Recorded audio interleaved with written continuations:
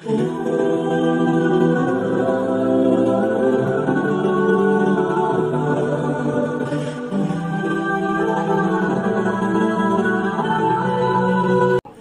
तो चूल्हे हुआ करते थे ना, चूल्हे। अब तो गैस आ गई है। दुनिया तरक्की पर है। हमारे जमाने में भी चूल्हे हुआ करते थे। वाले साहब रहमतुल्लाह ने भी तशरीफ़ रखते, वाला शबा रोटी बना रही होती। बहन शबा नाश्ता बना रही, चाय बना रहे। हो भाई बहने इकट्ठे बैठे हो। और वाले मोहतरम, शेखुल हदीस, अल्लाह वाले वक्त वली, मौका तक बेहतर तलाश करते हुए। बेटे बैठे हैं, बेटियाँ बैठी हैं। कोई ना कोई दीनी बात नसीहत वाली कर ले। हर रोज कोई ना कोई वाक्य खैर वाला। यह हदीस रसूलुल्लाह सल्लल्लाहु अलैहि वसल्लम में हदीस मुस्तफ़ा बयान कर यह कुरान करीम में जो अल्लाह ने मसैल फजैल बयान किए, कानून दिया, शरीयत दी, उस पर कोई ना कोई बात फरमाते थे। अब दीन नसीहत तरबियत थी, वालदेन की तरबियत खाना खाते हुए भी अगर इकट्ठे बैठे हो, कोई ना कोई दीन की बात दोपहर का वक्त, रात की रोटी में। वैसे अगर इकट्ठे बैठ गए, मशवरा होता था। ये काम कैसे करें? उसमें भी। अल्लाह का कानून नबी की सुन्नत पर बातचीत हुआ कर अगर ये मेंबर नब्बी पर हम बैठे हैं तो ऐसे नहीं बैठे। वालदेन के चेहरे को तकते थे, बात सुनते थे।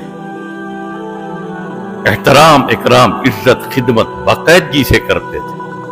वालिद के सामने कभी सर से नंगे भी नहीं बैठे, नहीं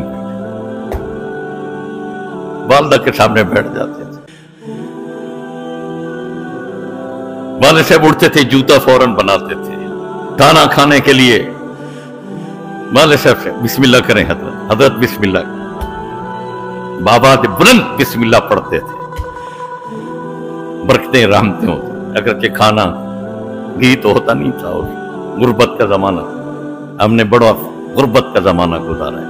फक्र फाके का जमाना गुजारा ये खरबूजे का मौसम है ना? एक खरबूजा वाले से कभी कभी हफ़्ते के बाद, डेढ़ हफ़्ते, एक खरबूजा लिया एक खरबूजा। पाँच भाई, तीन बहने, वालदा वाले उसकी डलियाँ करते, डलियाँ। एक डलिए एक भाई को, दूसरी, दूसरे को, तीसरे अल्लाह। देखते थे इतनी डलियाँ बनाने। एक खरबूजा, दस आदमी खाया करते।